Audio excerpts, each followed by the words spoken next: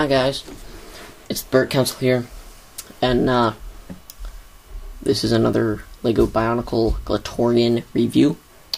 Thirteen dollars, uh, 2009 released. No minifigures, 52 pieces. This is Mata Nui, um, set 8989. So, uh, yeah, um, very cool. Leg first and this is all orange, black, and silver.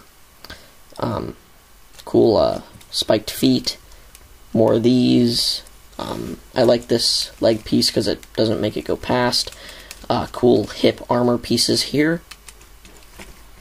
Then he gets this cool spiked piece for his shoulder. Then he gets uh, the same piece in silver as his uh, weapon. Same here on the other side. Then he gets a launcher and then he gets a uh, smaller chest piece right there.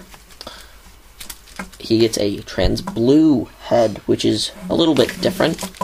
Um, he has these pieces back here, don't know what for. Uh, the disc. His helmet, I really like.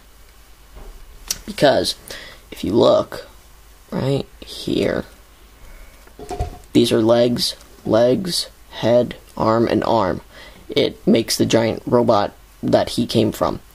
Um, so, yeah, I, I just think that it's a little bit awesome detail. Um, that pretty much uh, concludes it. He's a very basic, very cool uh, robot. Um, yeah, so please like, comment, and subscribe.